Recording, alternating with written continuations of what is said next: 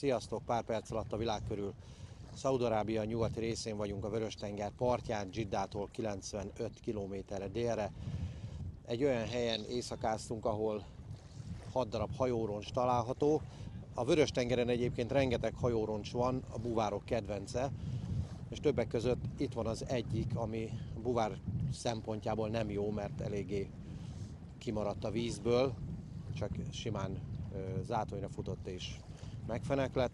Ez az Aranyil névre hallgató szaudi felségjel alatt hajózó, most már csak roncs. Nagyjából egy olyan 70 méter hosszú, a szélességét csak tippelni lehet. És itt pedig egy másik roncs.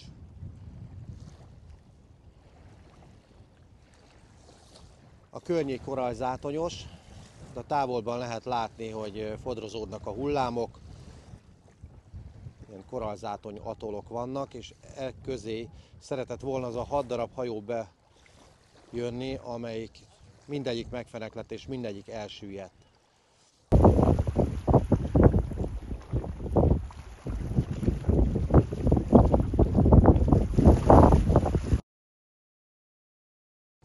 Ez itt a legnagyobb, a leglátványosabb, és ez van a legközelebb a parthoz. Információkat nem találtunk az interneten rajta, se a Wikipédia, se a Multipédia nem tudott ebben nekünk segíteni. Ennyit tudtunk meg csak tényleg, hogy aranynyíl névre hallgatott a hajó valamikor, most már inkább rozsdás nyíl.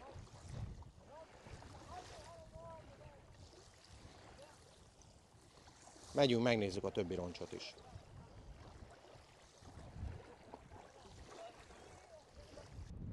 Itt aludtunk ebben a kietlen pusztaságban, ahol a homoksivatag találkozik a Vörös tengerrel,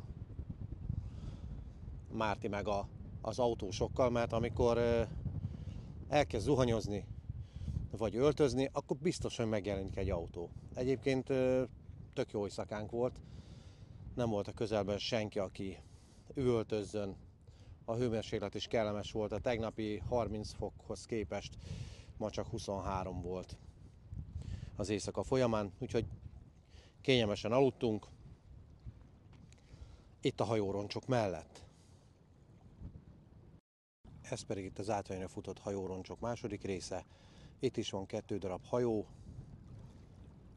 Ezt a Google Earth-ből sem sikerült kinéznünk, hogy milyen lehet ez a hajó, milyen alakja van, inkább ilyen téglatestre hasonlít.